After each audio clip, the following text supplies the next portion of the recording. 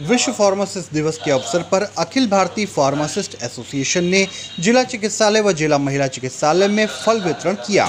तत्पश्चात नेहरू हॉल में एक कार्यक्रम का संचालन हुआ, जिसमें कई फार्मासिस्ट मौजूद रहे। कार्यक्रम में मुख्य अतिथि के तौर पर राजेश शुक्ला, रामसन कश्यप, रामजीवन जायसवाल, आकाश बजरंगी, भगवती गुप्ता, मनीष गुप्ता, महेंद्र जायसवाल और आशीष राठौर उपस्थित रहे।